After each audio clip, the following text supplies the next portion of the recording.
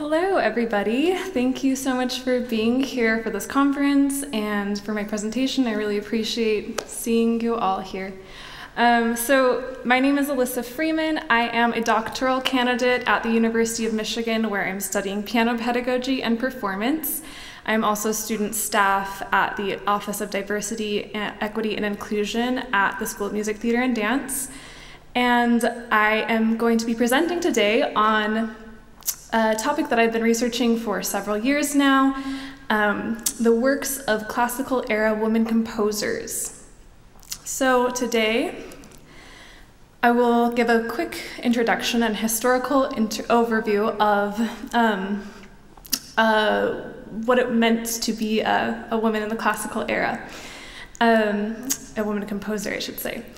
And then I will play uh, Maria Hester Park Sonata in C major, Opus 7. I will also play Josepha Barbara Auernhammer Set of Variations. And I will give a bit of an overview of the her classical project, which is the topic of my dissertation. Goals of today are that we will gain familiarity with the classical era women composers and their music, consider the history of their music and why much of it has faded into obscurity, and understand some of the available tools and resources for teaching and playing this music.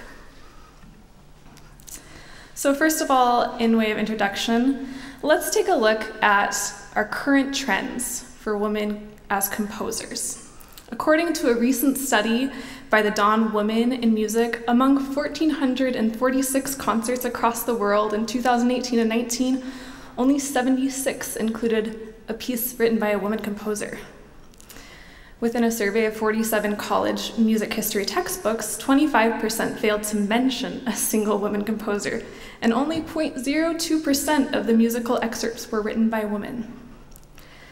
More specifically to piano or keyboard world, the Royal Conservatory of Music curriculum, one of the most commonly taught methods for pre-college students, does not contain a single work by women from the Baroque or Classical eras in any of its levels. So, let's take a look at history now. so, first of all, it's important to recognize that there are some regional trends here and differences in Europe during the classical era, which I'm going to focus on.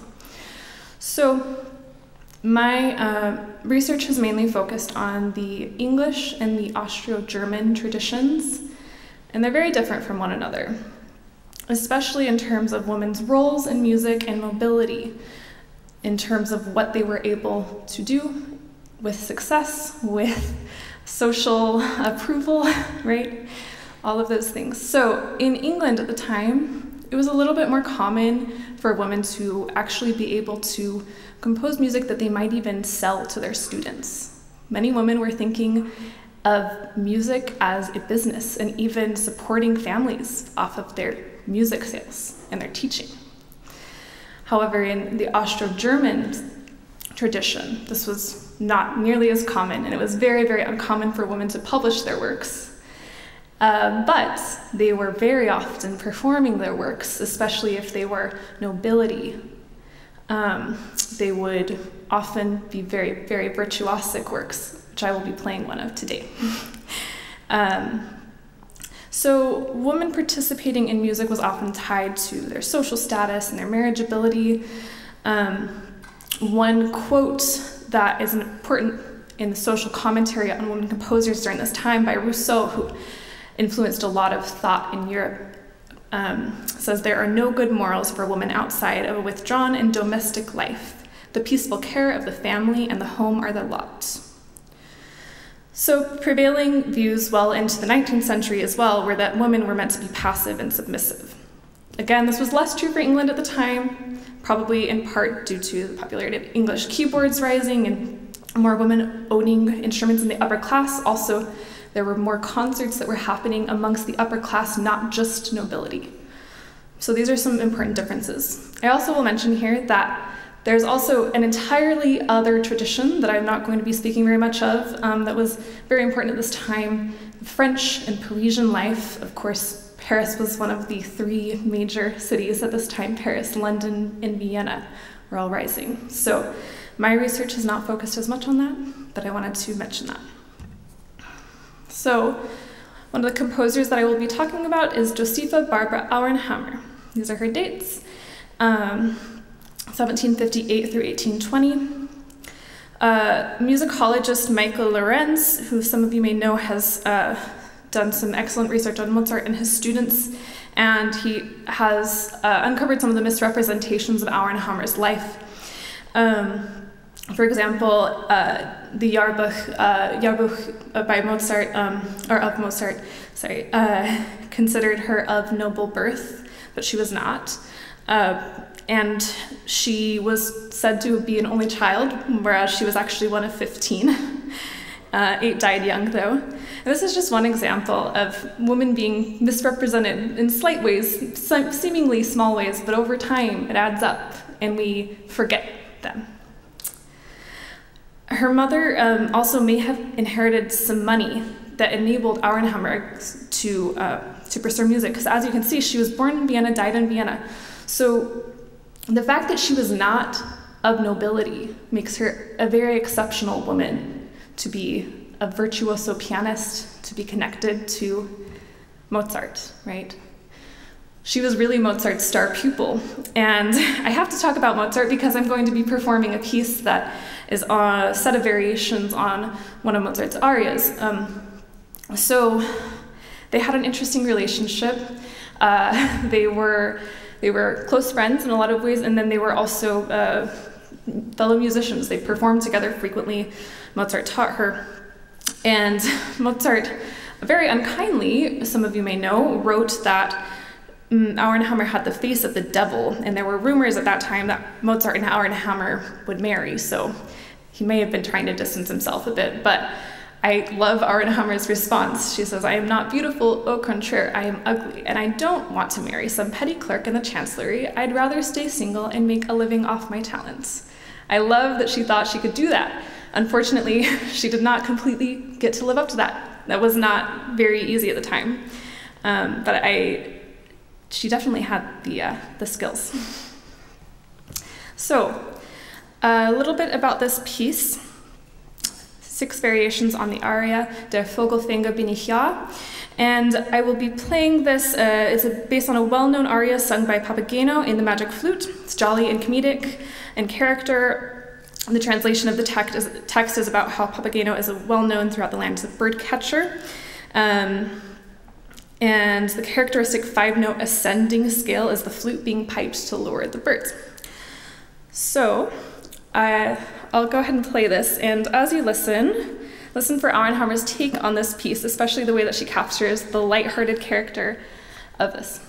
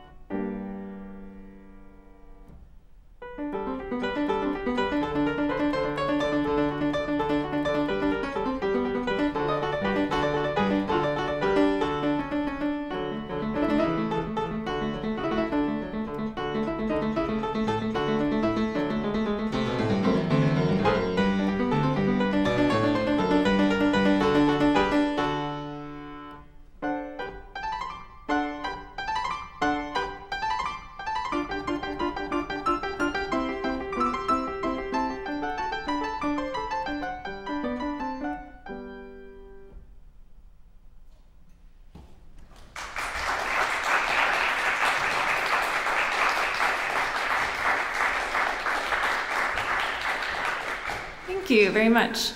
Um, so, yeah, as you can tell, lots of figuration, she was definitely a pianist and writing for herself. so, now we'll turn to Maria Hester Park, married name Reynolds. And her dates are 1760 to 1813, born England, city unknown, and died in Hampstead. Though the first, the first concert that she gave was in the Oxford area, so she may have lived in that area. Prominent teacher, much of her music was published by the author, so this is kind of what I was talking about before. In England, women were sometimes uh, actually there's several examples of women who were writing music and contacting publishers to have their music produced and sold. And this was likely because they had enough demand as a teacher that their students were requesting their music be published. So uh, Maria Hester Park was one of those uh, composers in England who was doing that. And uh, one thing that's important to recognize with her, is uh, as opposed to some others, is that Park was writing especially for uh, skilled amateurs. So. Uh, if I had time, I would show you some pieces by Jane Savage, which are a little bit more um, on the other side of things, where they were definitely more pedagogical and stepping stones um, into some larger pieces. So she was a composer, pianist, vocalist, a mother of five, and she had quite a large output, especially for a woman of this time. Um, this quote by Diana Ambache, who has been a champion of Maria Hester Park's works, I think fits really perfectly. It says, Park made her living composing the sort of music performed by Jane Austen heroines. And uh, this is probably really true. um, she was probably teaching a lot of these women at the, the same era. Um, I think that if I could contact BBC and have the next film accompanied by the music of my choice, it would be Maria Hester Parks for sure. Um, so she was writing for skilled amateurs, uh, and then she had a relationship with Franz Joseph Haydn uh, through her husband Thomas Park, especially, um, who was a very good friend of Haydn's. So I will be playing her sonata in C major, opus 7. This is uh, slightly different from the program notes. Um, Rondo Allegramente, uh, the third movement. So the uh, or yeah, sorry, the refrain of this um, rondo, it's very melodic and sweet. It's accompanied in thirds, which is very characteristic of Park's writing. And then the first episode is for virtuosic, brilliant, still in C major, and has lots of left hand scales. Um, and then the second episode is much more of a Sturm und Drang character. It's in A minor. Um, and I think that's everything. So I hope you enjoy listening to Maria Hester Park's Sonata in C major, opus 7.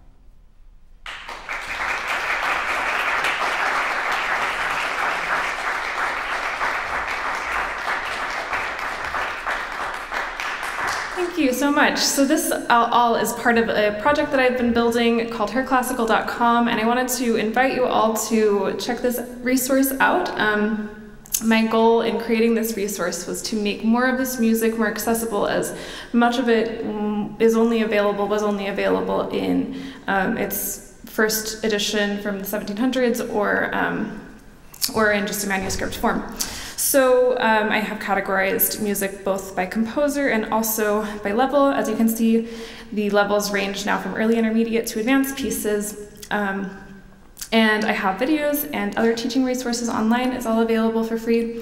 And I would invite you to start teaching these pieces in your own studios or performing these on your own stages. And um, I wanted to close with a question that I was recently asked by someone who approached me about my research. Um, they said, Do you really think that anything a woman wrote could actually replace the great canonic works we study?